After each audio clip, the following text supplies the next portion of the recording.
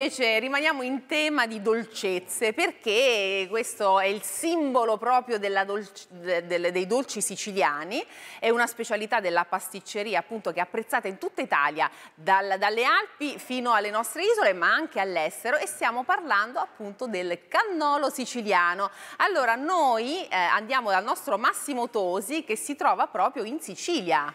Buongiorno Massimo! Esatto, esatto. Buongiorno Daniela ai tuoi ospiti, a tutti i telespettatori. Guardate qua, eccolo il cannolo siciliano, fatto, finito, meraviglioso, con un gran profumo. E siamo insieme a Giuseppe ed Angela Chiofalo. Buongiorno. Buongiorno, buongiorno. Allora, noi subito qua in diretta vogliamo preparare la ricetta vera e propria. Allora, facciamo spazio. Intanto, qual è il primo passo per la pasta?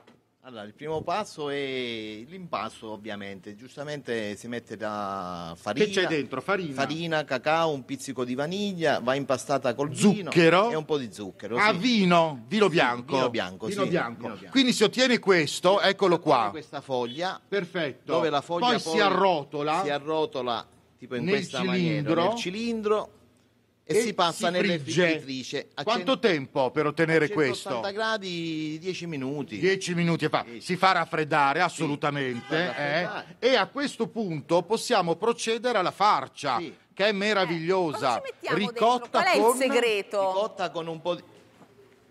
Eh, il segreto, Il segreto ricotta con... ricotta condita con un po' di zucchero, un scorzetta di limone e Cioccolato, cioccolata. Sì, buonissima, cioccolato. questa è ricotta di pecora, quella Eh, che adoperiamo. Daniela ci chiedeva il segreto, perché c'è un segreto importante. Quando li acquistiamo, allora già fatti se li consumiamo velocemente, Sì. però se dobbiamo fare un lungo viaggio è meglio... Conviene, si consiglia giustamente di prendere le bucce vuote e la ricotta a parte in modo che quando si arriva si riempono e rimane Perché croccante la altrimenti buccia. la buccia, eccola qua, di arancio, Sì. che succede? A contatto con la ricotta per Sì. lungo tempo Con l'umidità perde la la- croccantezza. sì, la croccantezza, Eh, sì, sì. Quindi, beh, eh, perché lo sappiamo tutti, se le acquistiamo in Sicilia sono ottimi, li portiamo a Milano, Ah, cambia il sapore e non riusciamo a capire il motivo. Sempre Sicilia, nel senso per i dolci.